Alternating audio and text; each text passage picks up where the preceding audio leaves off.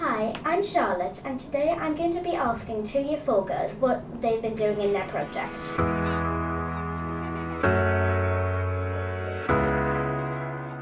At Kensington Prep, we've created powerful learning spaces, giving us some of the best facilities of any prep school in the country.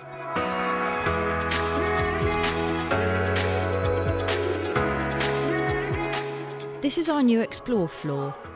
It's the perfect place to spark creativity. It's like a new way of learning.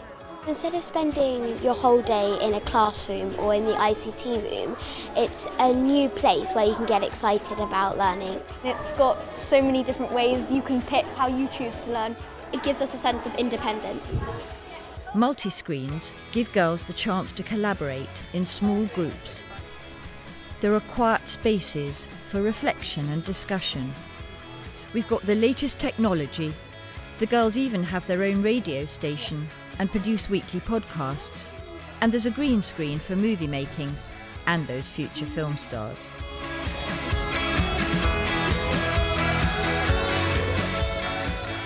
You look at the way you plan lessons completely differently, and it really opens your mind as to how you, as a teacher, can explore the different directions that you can take the children in. Our new breakout spaces are incredibly freeing for teachers and pupils. They provide great opportunities for independent learning. Girls can investigate ideas on their own, in small groups, with the whole class, or even a whole year group.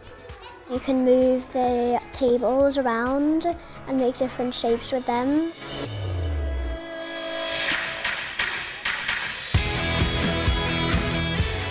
It's just really free and it lets us work more independently. We found that the design of the classroom was really restricting the way we could teach and the way the children could learn. And now, what a difference. It's just better than any other classroom that I have been in before. I'd say that it's the best classroom in the world. Okay, girls, where are we at? How are we doing?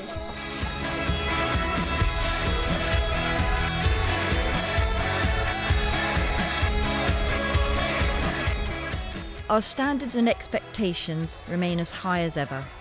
Our girls go on to some of the country's best secondary schools. They tell us that our pupils stand out. They're exactly the kind of girls they want.